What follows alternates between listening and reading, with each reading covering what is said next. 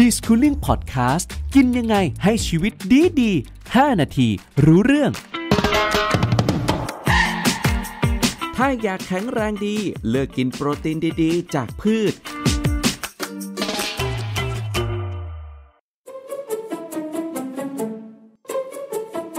สวัสดีครับทุกคนครับ ถ้าพูดถึงเรื่องของโปรตีน เราก็มักจะนึกถึงเนื้อสัตว์เพียงอย่างเดียวเท่านั้นนะครับ แต่จริงๆแล้วพืชบางชนิดก็มีโปรตีนที่จะช่วยเสริมสร้างร่างกายของเราให้แข็งแรงอย่างแน่นอน และแน่นอนวันนี้ครับกูรูที่จะมาให้ความรู้ความเข้าใจ นั่นก็คือพี่แววตาเอกชาวนา นักกำหนดอาหารวิชาชีพอีกเช่นเคย สวัสดีครับสวัสดีค่ะ วันนี้มีคำถามอีกแล้วล่ะครับพี่ครับ หลายๆ คนพอพูดถึงโปรตีนเสร็จปุ๊บ คิดถึงแต่อย่างเดียวเลยครับพี่เนื้อสัตว์เนื้อสัตว์ต่างๆ อะ คิดมาไกลกว่านั้นหน่อยก็ไข่ แต่ในส่วนของพืชอย่าว่าแต่คนอื่นเลยผมก็แอบสงสัยเหมือนกันว่าพืชจะมีโปรตีนด้วยหรอครับพี่แววตาครับ พืชมีโปรตีนเยอะเลยค่ะ ผู้ปกครองนะคะ หรือแม้กระทั่งตัวเราเองหรือเด็กๆนะคะ ควรจะกินโปรตีนจากพืชเป็นประจำสลับกันหรือกินคู่กันไประหว่างโปรตีนจากเนื้อสัตว์กับโปรตีนจากพืชเพราะถ้ากินคู่กันทั้งสองอย่างนะคะ ร่างกายของเราก็จะได้รับโปรตีน 2 ชนิด ซึ่งมีประโยชน์แตกต่างกันครับแต่พอกินรวมกันปุ๊บเนี่ยจะทำให้ร่างกายของเราแข็งแรงมีกล้ามเนื้อเพิ่มมากขึ้นค่ะครับผมงั้นก่อนอื่นเรามาทำความเข้าใจให้กับแต่ละคนกันก่อนดีกว่า โปรตีนจากสัตว์ โปรตีนจากพืชช่วยเรื่องอะไร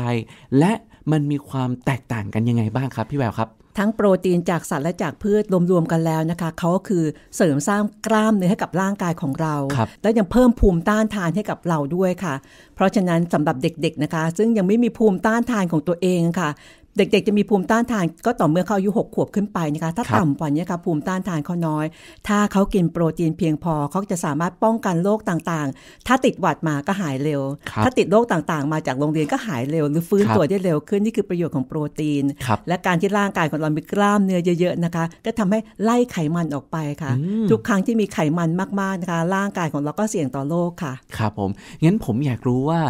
โปรตีนจากพืชกับจากสัตว์นะครับ อันไหนจำเป็นกว่ากันหรือ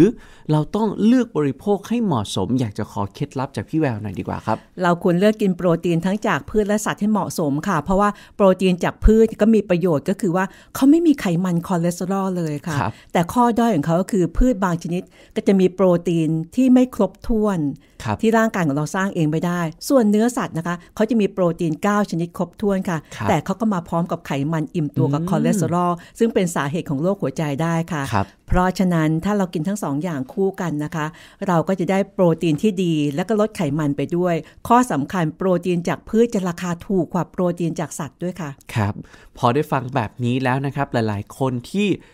เลือกที่จะไม่อยากทานโปรตีนจากสัตว์ อยากจะทานโปรตีนจากพืชก็สามารถทำได้แต่อาจจะต้องมีการแบ่งสัดส่วนของการทานให้มันสม่ำเสมอหน่อยดีกว่า งั้นอย่างนี้ครับเรามาหาคำตอบกันดีกว่า พืชชนิดไหนที่มีโปรตีนครับพวกถั่วต่างๆ พวกธัญพืชค่ะ ถั่ควรับเหลือง ถั่วเขียว ถั่วดำหรือแม้กระทั่วมันๆ พวกถั่วลิสง พวกนี้ครับจะมีโปรตีนสูงมากนะคะ ยกตัวอย่างอย่างเช่นถั่วลิสงแบบถั่วต้มอะครับถั่วต้ม 1 ขีดนะคะ มีโปรตีนประมาณ 20 กรัมค่ะ อะแล้วมันจะสงสัย 20 กรัมมันแค่ไหนเท่ากับไข่3ฟองค่ะอ๋อแต่ว่าถ้าจะดีกว่านั้นนะคะก็คือกินถั่วต้มบ้าง แล้วกินโปรตีนจากพืชบ้าง พี่แววมีเมนู ซึ่งผสมผสานทั้งโปรตีนจากพืช แล้วก็โปรตีนจากเนื้อสัตว์ด้วยค่ะครับถั่วงอกผัดเต้าหู้หมูสับค่ะโอ้โหง่ายๆเลย ถั่วงอกนี่มีโปรตีนสูงมากหนึ่งครัขีบดมีโปรตีนประมาณ 4 กรัม คุณผู้ฟังไม่จำเป็นจะต้องจำว่ากรัมเท่าไหร่นะครัคะบส่วนเต้าหู้ก็มีโปรตีนสูงครับอันนี้เป็นโปรตีนจากพืช พอใส่หมูสับลงไปด้วยครับก็เพิ่มโปรตีนอีกชนิดหนึ่งซึ่งแตกต่างจากพืช ผลก็คือทำให้คนกินเนี่ยได้รับโปรตีนทั้งสองอย่างครับเพราะว่าโปรตีนจากพืชข้อเด่นของเขาคือมีไฟเบอร์ หรือใยอาหารครับแต่เนื้อสัตว์มีใยอาหารน้อยอย่างนี้เป็นต้นค่ะครับผมเพราะฉะนั้นทุกคนตั้งใจฟังให้ดีแล้วกันนะครับสำหรับใครนะครับที่อยากจะหาทางเลือกเกี่ยวกับเรื่องของการทานโปรตีน อย่างที่พี่แววบอกไปนะครับว่าโปรตีนจากพืชก็เป็นอีกหนึ่งทางเลือกที่สำคัญ โดยเฉพาะประเภทของถั่วต่างๆ น้องๆบางคนอาจจะยังไม่ค่อยชอบทานเนื้อเท่าไหร่อยากจะฝึกทานอะ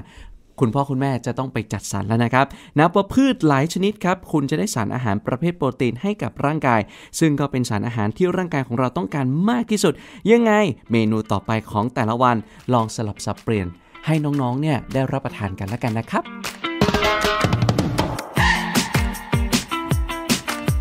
d i s c o o l i n g Podcast กินยังไงให้ชีวิตดีดี 5 นาทีรู้เรื่อง